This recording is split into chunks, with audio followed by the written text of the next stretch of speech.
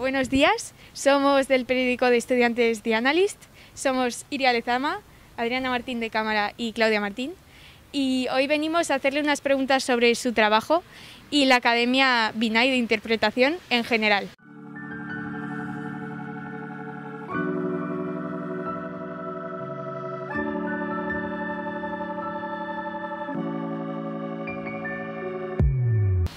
Desde el primer momento en que entras en un personaje que no eres tú, que estás creando un personaje, estás creando como una vida, ¿no?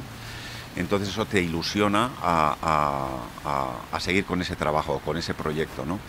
Por ejemplo, en teatro, eh, el teatro para mí lo bonito que tiene es que aparte que estás creando tu personaje, es el, el directo que es con el público, ¿no? El, el que lo que estás creando lo estás creando en ese momento, ¿no? Que es por las sensaciones que tienes en ese momento.